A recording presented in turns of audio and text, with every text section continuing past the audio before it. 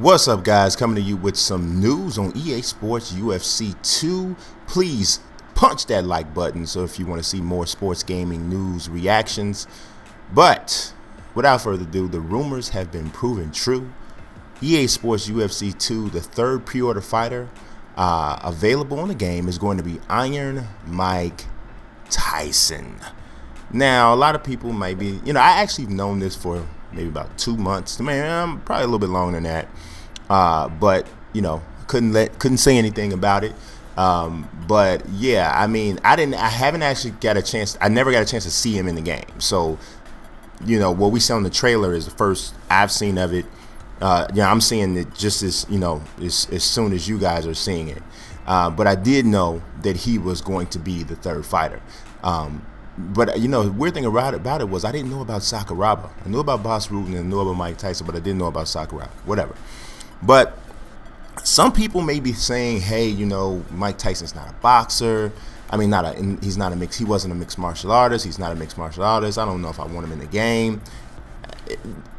To me, EA Sports is reserving the right, almost like every year, to put in a guy uh, and maybe a girl coming up, a guy who is not uh, necessarily a mixed martial artist, but who is just famous. So last year was Bruce Lee, or last time it was Bruce Lee. This time it's Mike Tyson, and I don't have a problem with it.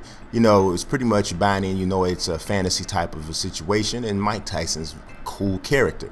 They also have the young version you can see here on the screen now, as well as the older version with the face tattoo. Now, the, the face tattoo version of Mike Tyson was pretty much more bark than bite, but it's still Mike Tyson. It still looks cool, so it's cool to have two different versions. One thing that you can pick up from the trailer, outside of more stellar graphics, which I've talked about in, at length already, is you can tell that Mike's going to be uh, available in light heavy as well as heavy.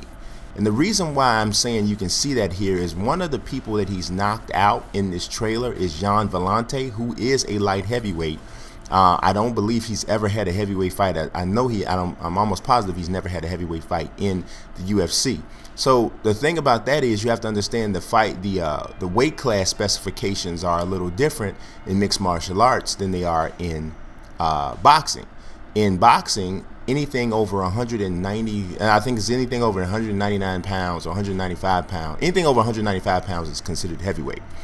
Um, in um, in in in mixed martial arts, the weight limit for light heavy is 205. Now, knowing what I know about Mike Tyson's career, that face shot is awesome.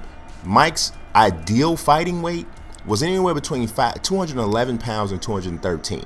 So if you go back and look at him in his prime in the in the late 80s, maybe just slightly in the early 90s, but late 80s, early 90s, all of his fights where he was at his best, you'll see his weight is either 211 to 213, somewhere in there.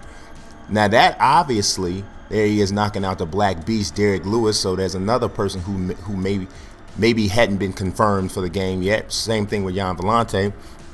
So if you look at Mike Tyson's the 211 to 213, that would put him right there in the middle of being an, uh, a light heavyweight and a heavyweight in mixed martial arts. So, you know, it would make sense that they would make him uh, an, a fighter, uh, you know, a usable character in light heavyweight uh, for that, you know, for that reason. And if you think about it, he's only 5'11".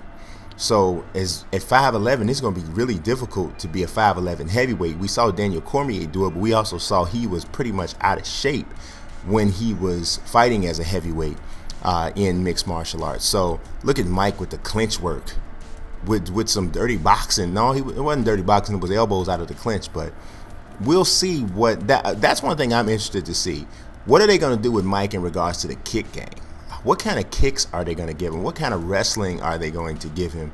Obviously, we we're already delving into the fantasy fantasy realm, so they could do what they want to do. But I think people might have a problem if they show him doing some spinning wheel kicks and stuff like that. I don't think he's going to have that. I think he's going to have a a strike set heavily based in punches. Uh, but I'm eager to see to get an opportunity to control him. Uh, it's going to be interesting. So, like I said, the uh, secret is out. Mike Tyson is the third playable character. Don't forget to leave a like, subscribe.